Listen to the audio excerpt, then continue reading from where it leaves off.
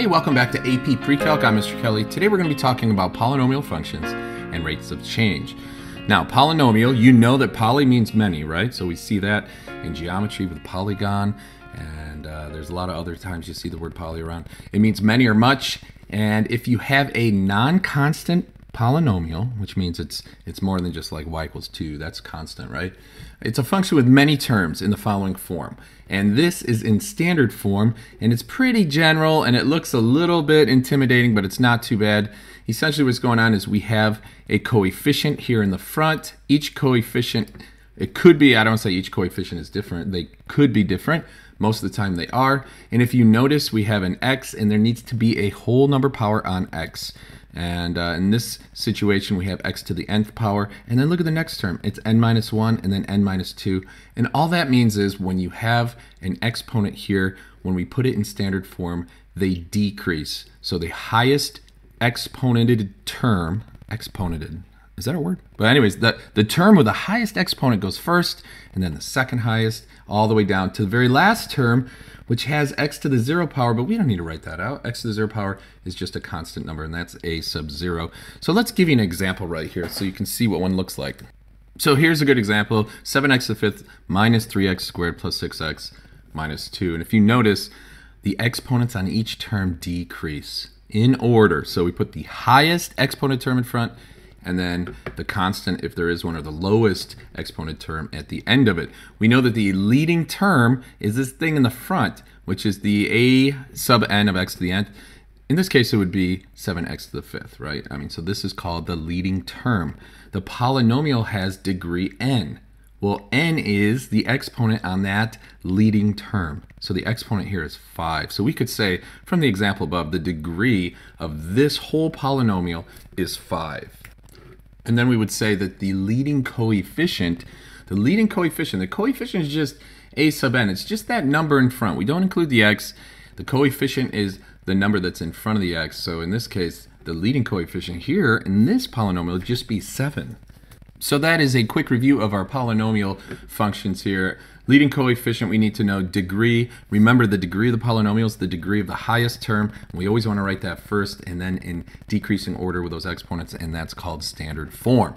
But sometimes polynomial will not be written in standard form, and you have to look at the variables with the largest exponent. So one of the things teachers like to have their students do is rewrite the polynomial. So I'm going to do that up here. Let's rewrite it and so when we do this, we have to go through the polynomial, looking at each term, and you find the largest term. That's got to go first. It has the highest degree. You have to be careful of that negative there. Um, it's a minus, but it's really a negative 2, right? So that's going to come in front. That's going to be our leading term, and our leading coefficient is going to be that negative 2. But then we go through each of these terms, and we find the next term that has the highest degree on it, the highest exponent. So that would bring us over here to the 14 and that's a positive 14, so we would write plus 14x squared, and you continue all the way down, plus 6x plus 1. So as we said, the, the degree of the polynomials, whatever the degree of the leading term is the highest degree of all the terms. So in this case, that would be 6. And the leading coefficient is that coefficient when the function's in standard form. In this case, it would be a negative 2. Common student mistake, they'll look back at the original function and say it's 14, but it's not. It has to be in standard form. So the leading coefficient is negative 2. So next we're going to move down to our local and relative extrema, which are maxima and minima. These are plural words, extrema, maxima, minima. Um, if a polynomial switches from increasing to decreasing, there will be a local or relative maximum. That is the singular, okay? So maxima is when you have several maximums, okay? And then if it sw switches from decreasing to increasing, there'll be a relative or local minimum. What does this mean? Well, all polynomial functions, first off, they are continuous. So I'm going to draw a little function here that's a pretend polynomial function. All right, so let's suppose we have a function like this. Okay, and polynomial functions are continuous, which means that if you put your pencil on the paper, you will not lift your pencil up, and there's smooth edges, there's nothing rough, uh, there's no points or anything like that. Now, what this says here, this definition, is that if a polynomial switches from increasing, which is this first part of the function, to decreasing, we call this a maximum. Okay? A local or relative maximum means that it's a maximum, the highest value in this area. So in this local area, this area right here, this point right here, we would call a maximum because it's the highest point in this area. We also have one down here. This is a local maximum. If you look at it, it's the highest point in the area. You can think of it as being on top of a hill maybe, or on top of a mountain. Wherever that is, that is a maximum. And this should make sense, right? Because maximum means the greatest value. It's at the top. So in this area, that is the greatest uh, value. In this area, this is the greatest value. And the same is true if it switches from decreasing to increasing, then we say that is a minimum, okay? So a minimum would occur right here, a local or relative minimum. Local and relative just means uh, in this little area right here, and you have to know both words because some uh, teachers will use local and some will use relative.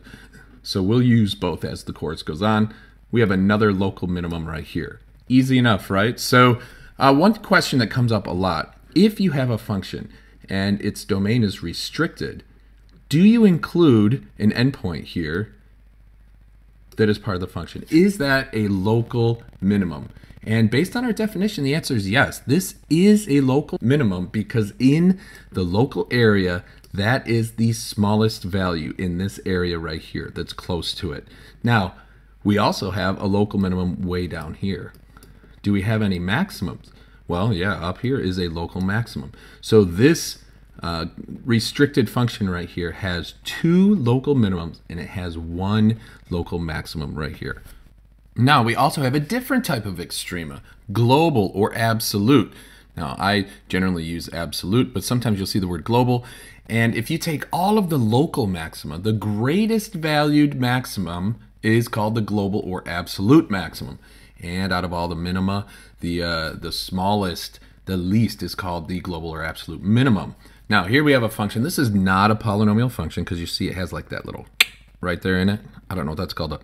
Okay, but as we go through this function, let's go through and find all the, the absolute or the global max and mins, and then the relative or local maximums or minimums. So the number three here says the absolute min of this function is what? Okay, so I'm going to look at it. Is there a value that is absolutely in the entire function the least value. And right back here, we just talked about that endpoint. This value right here, this value is negative 2. That is the absolute min when x equals negative 6. Okay, so be very clear. It's the y value that is the min. All right, and most frequently we tell where that happens, when x equals negative 6. Does this have an absolute maximum? Well, some students would say right here, but guess what? That arrow means it goes forever. So it goes up forever. And how far does it go? To infinity. So there's no value that is the absolute max. So we're just going to cross that out. And we will write none on that one right there. Now let's look at the relative mins. Well, just because a point is an absolute min doesn't mean that it's not also a relative min because this is the smallest or the least value in this area. So there is a relative min at x equals negative 6. Okay, where else? So I'm going to look right here. This value in this area is the least value, the smallest value. So at x equals negative 3, what else we got right here? x equals 2. Are there any more? I'm looking around. I think that's it. This is a local minimum, local minimum, local minimum. I think we're good there. Relative max. Okay, a relative maximum. Remember, it's like being on top of a hill. So right here would be one at x equals negative 4. Uh, we climb the hill right here. This is the top of a hill here at x equals 1. And then we would not include anything on the right because, as we said earlier, like there's no value here that's at the top. It just goes forever. So that basically defines our global and absolute extrema from our local or relative.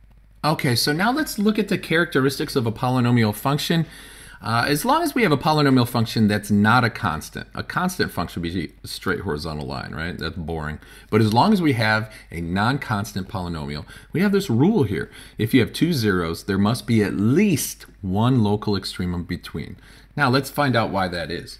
Okay, polynomial functions, I told you this before, they're either increasing or they're decreasing as long as they're not constant, right? So that means I'm going to make a little function right here. We're going to come up, it's increasing, it goes through the point one zero. We know that that is what we would call a zero or a root. And then The only way that you can get to that 3 if you're increasing is if you start decreasing, right? And whatever else the polynomial function does, but that increasing, changing to decreasing, that creates a maximum right here. It's not the only possibility. Let me erase this. We could also have a function that starts out decreasing, right? And we know, let's suppose it's increasing here, but then it's decreasing. The only way to get back to that 3 is to increase again, and that would create somewhere here, there would be a minimum. That's not also the only thing that could happen. It is also possible that you have a polynomial function that really likes to dance, and so it's increasing, maybe decreases, maybe increases. In this case, we would get two extrema right here, a maximum and a minimum. And so that gives us this rule here. If you have two zeros, there must be at least, we're not sure, but at least one local extremum between those two zeros. So here's an example using function notation. If we have a polynomial function f and f of negative 2 is 0, f of 0 is 5, f of 4 is 0, and f of 7 is negative 1. Are there any guaranteed extrema? And if so, we're going to state where they occur. So I would say what? We got to find out where the zeros are. The zeros in this function are 1 and 3. Where are the zeros here? The 0 would be at x equals negative 2. That gives you a 0. Remember, a 0 is where the y value equals 0. And then at x equals 4, that would be a 0. And this other one, f of 0, that's thrown in, that's put in there to throw you off a little bit. That is a y-intercept. But we could look at these two zeros. We know between negative 2 and 4, there must be an extremum. And we don't know what it is necessarily without some more information, but we could write it in inequality notation or as an interval. There must be at least one. Did I say at least one? Let me say at least one. There we go. That makes me feel a little more happy when I do it correctly. At least one. Okay, one more thing left here. We're going to talk about even degrees. Uh, mean that you have an absolute extrema somewhere. If a polynomial has an even degree, there is either an absolute min or an absolute uh, maximum. Even degree, what does that mean? I'm going to show you an example here. What is an even degree? Let's start with our very basic one. You all, you all done this before. How about y equals x and it's got to be even. So we'll do x squared. Y'all know what that means, right? That looks kind of like this. Okay, one of the things we learned about our polynomial functions in Algebra 2 is that even degrees, they have the same, we call it end behavior, like they either both go up or they're both going to go down the, at each end of this function. So if you have a positive leading coefficient, like this is a positive 1, we didn't write it, but a positive 1 right here, that means you'll have an absolute minimum because on either end of it, it's going to be increasing. Whereas if we have a negative leading coefficient, remember what that does to this u in the quadratic? It flips it over. So that means that we're going to have somewhere an absolute maximum. Let's pull that down over here. Okay, so this only occurs with even degreed polynomial functions. We know that somewhere, even if it's even if the degree is crazy high and you have a lot of twists and you know curves in it, if it has a a negative leading coefficient, it might look something like this. You know, oh, that is crazy ugly. But somewhere along this polynomial function is an absolute maximum. Okay, so we can look at these different functions and tell, is there an absolute maximum or minimum for each function? The first thing we need to determine is, is it even degreed? Because if it was odd, like x cubed, you would have either end of it go to infinity but we'll talk more about that later. So here, is there an absolute max or min? We look at all of the different terms. This is positive and it's even, right? So that'd be the same as x squared, y equals x squared. So 3x to the fourth, yes, that would have a minimum, we would say. Okay, and now we look at b.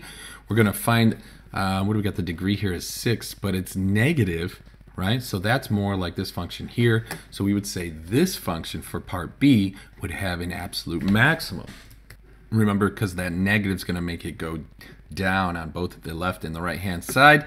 But we'll talk about end behavior a little in 1.6. And part C, what do you think about this one? Does it have an absolute minimum or an absolute maximum? And the answer is, no way, man, look at that. We got an odd degree right there. So odd degree polynomial functions do not have absolute extrema, but they might have local or relative. They probably do, right? So just not absolute extrema.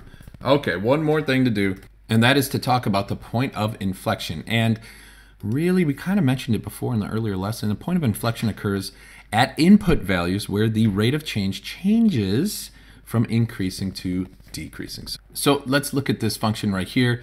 We see the slope is really high at this part, right? The slope oh my god, it's going straight up so quickly. And then the slope is decreasing. You can notice how the slope is decreasing. The slope is decreasing. Like a line right here would look like this. Oh, Mr. Kelly, do your best.